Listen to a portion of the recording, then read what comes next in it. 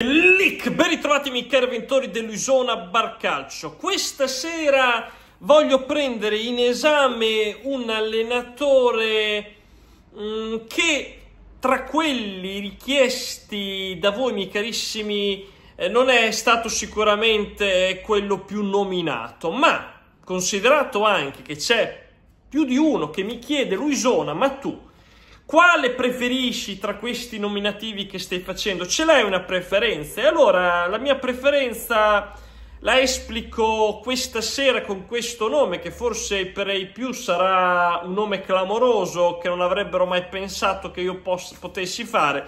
Però adesso faccio tutto un discorso e cercherò di farvi capire perché sono arrivato alla conclusione che Paolo Vanoli possa essere il nome giusto per guidare il Bologna Football Club.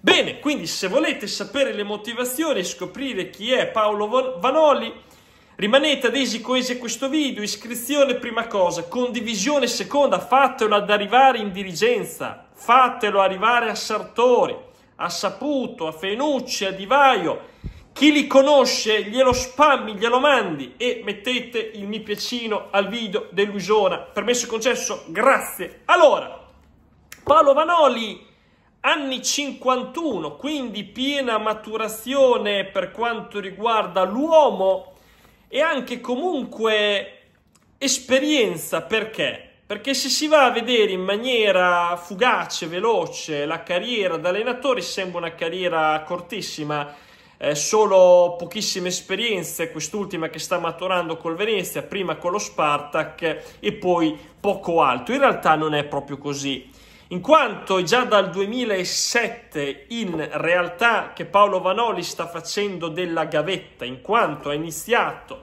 nei bassissimi fondi nella Serie D con il Domegliara, ok?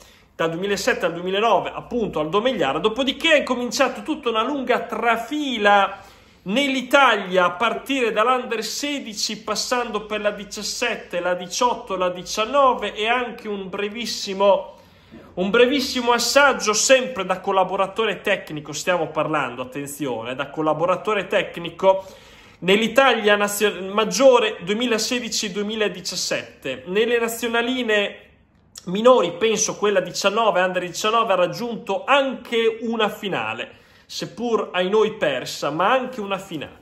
Dopodiché, dopodiché ha iniziato a collaborare quindi sempre da collaboratore tecnico, da assistente, con Antonio Conte, prima al Chelsea e poi l'ha seguito all'Inter, dove sappiamo tutti eh, l'Inter di Antonio Conte quale epilogo ha avuto, cioè vittorioso. Ecco, come assistente, come collaboratore tecnico c'era Paolo Vanoli, così come c'era al Chelsea sempre con Conte.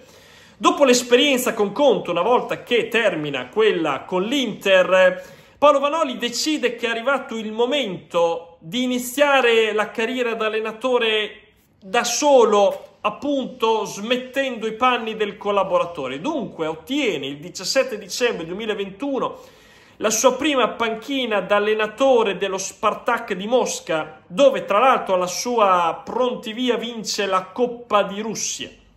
Poi però non vi rimarrà per le note vicissitudini del conflitto russo-ucraino che hanno fatto propendere e decidere saggiamente a Paolo Vanoli di andare altrove. L'altrove lo trova il 7 novembre 2022 quando il Venezia Calcio gli offre una panchina bollente, bollente perché ascoltate quello che vi sto per dire. Arriva dopo 12 partite dal campionato iniziato con il Venezia che era in Serie B penultimo con 9 punti. Ricordo quel Venezia che era retrocesso l'anno prima dalla A alla B e che si ritrovava dunque penultimo in B con 9 punti dopo 12 partite. Chiamano Paolo Vanoli, Paolo Vanoli non si prende paura e porta quella squadra all'ottavo posto. Quindi ha fatto un super mega lavoro. L'anno dopo, cioè questo, stagione 23-24, si ripeterà perché con il Venezia arriverà terzo in classifica e sappiamo tutti Ieri tra l'altro si è giocato il playoff finale d'andata per la tra Cremonese e Venezia finito 0-0 e nei prossimissimi giorni ci sarà il ritorno in casa proprio del Venezia. Qui auguriamo a Paolo Vanoli di riuscire ad ottenere la meritata Serie A. Ricordo tra parentesi tra le fila del Venezia esserci a centrocampo quel Tessman di cui Sartori stima. Detto questo, detto questo, quindi abbiamo fatto un eh, ricapitolo della carriera di Paolo Vanoli che già a prima acchito dunque vediamo note positive e note negative. Note positive sicuramente che ovunque egli sia andato è riuscito ad emergere, a emergere anche in situazioni di estrema difficoltà. Nota negativa è che è un allenatore che ha poca esperienza per quanto concerne la gestione di una squadra che possa essere impegnata su più fronti o perlomeno anche qua. Apriamo un distinguo. In realtà ce l'ha da collaboratore tecnico da assistente di Conte ce ne ha e a Iosa da quel punto di vista.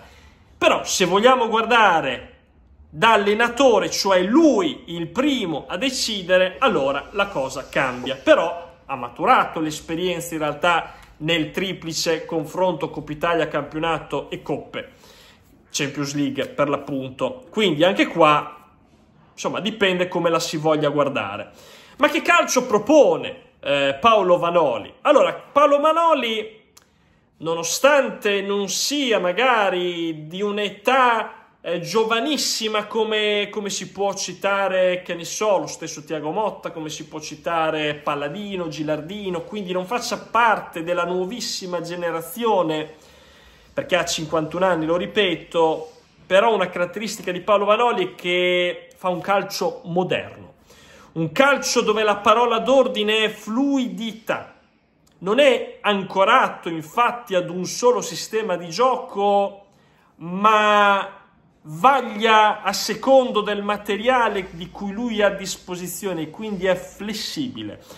Ha infatti usato diversi sistemi di gioco, passando anche dalla difesa 3 alla difesa a 4, li conosce tutti i sistemi di gioco.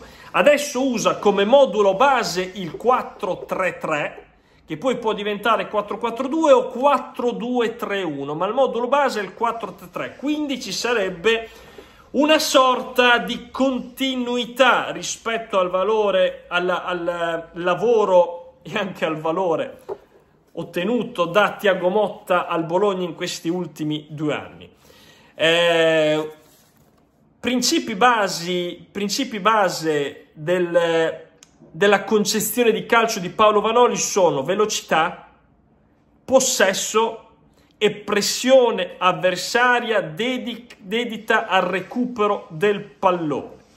Gli piace fare densità nella zona palla, porta i centrocampisti in aria e chiede loro incursioni continue e usa molto gli esterni che infatti spingono come dei treni. Non a caso in Serie B quest'anno ha ottenuto il migliore attacco di tutta la B, 69 reti fatte a fronte di 46 subiti, che, nota del direttore qui presente, è miglior, l'ottava miglior difesa, ma c'ha un differenziale reti fatti subiti con un bel più 23, che è il differenziale secondo migliore di tutta la B, dietro solo al Parma. Questo dunque è Paolo Vanoli. Paolo Vanoli che voglio aggiungere ho ascoltato più volte in conferenza nelle dichiarazioni post partita ed è una persona di un'intelligenza e di un'umiltà da fare chapeau, da fare chapeau, lo ripeto, l'ho ascoltato, è di una intelligenza e di un'umiltà da fare chapeau. Tra l'altro come tonalità, intonazione di voce, timbro ricorda persino vagamente in certe situazioni Giampiero Gasperini. Mi sembra quasi lo stesso, se, sembra quasi di sentirlo par- di sentir parlare Gasperini certe volte. A me Paolo Vanoli piace molto e lo vedo anche come la figura ideale per portare questo Bologna a nuovo entusiasmo. Un allenatore che non ti aspetti sarebbe una, una sartoriata e perché io dico il Bologna ha bisogno, ha bisogno di questo, perché andare a prendere un italiano che tra l'altro è deluso da quello che comunque ha maturato in questi anni a Firenze, tre finali, tutte e tre perse, è un profilo comunque che dal punto di vista del gioco non va e rischia secondo me anche alla luce di quello che eh, ha maturato Tiago Motti in queste due annate pregresse di andare immediatamente nella sua ombra e di finire molto male. Cosa che invece, partendo con un grido magari inferiore all'inizio, Paolo Vanoli secondo me non subirebbe perché Paolo Vanoli vedrebbe questa come quasi, secondo me, lo, un'occasione, l'occasione, l'opportunità di cui Tiago Motta tra l'altro parlava spesso. Cosa che invece italiano non vaglierebbe come un'opportunità, ma come un rischio, un rischio di confermarsi e di rilanciarsi ulteriormente, mentre per Paolo Vanoli sarebbe unicamente un'opportunità.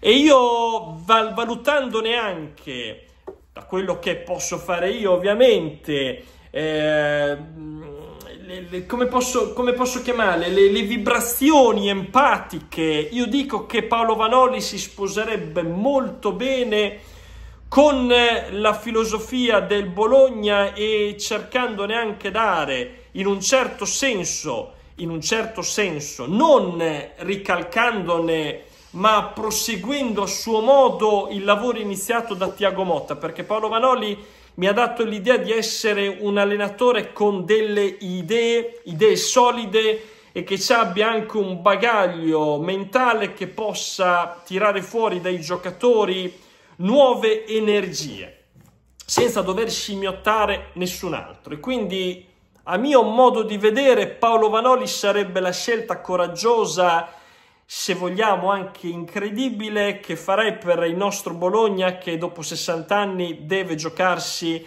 la Champions League. Ci vedo proprio il giusto mix comunque di esperienza pregressa maturata perché voglio rimembrare quella con Antonio Conte che sicuramente è un grande allenatore da cui avrà preso sicuramente le cose migliori da prendere però mettendoci quella parte umana, empatica che mi pare di aver capito poter appartenere a quelli che a me piace definire i vatte calcistici. Ecco, con Paolo Vanoli mm, personalmente mi sentirei più a mio agio nell'affrontare quello che dobbiamo affrontare piuttosto che andarci a prendere un Vincenzo italiano o anche Maurizio Sari. Maurizio Sari che per certi versi vedo più essersi, come ho detto nei video con il carissimo Otis, eh, eh, aver preso la scia del Mazzarri, cioè un allenatore che non si è più aggiornato, un allenatore che ormai vivacchia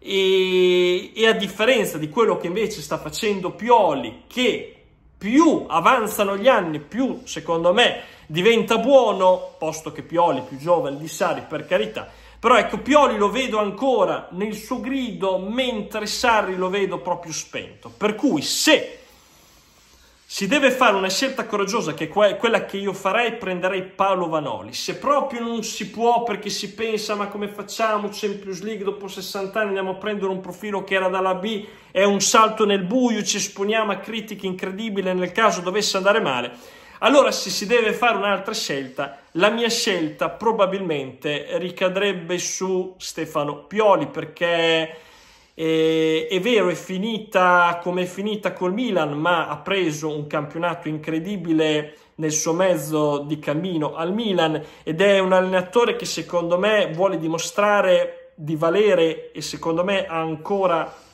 parecchio da dire e non è che ci dobbiamo ricordare Stefano Pioli dell'epoca di quando fu a Bologna perché è un Stefano Pioli totalmente diverso, mio parere. Però detto questo, mi espongo adesso al vostro, al vostro commento, box commenti, fatemi sapere che cosa ne pensate di tale disamina, attivate il campanaccio pastorale, fate girare questo video e noi ci sentiamo alle prossime. Chiacchiere da bar, Paolo Vanoli.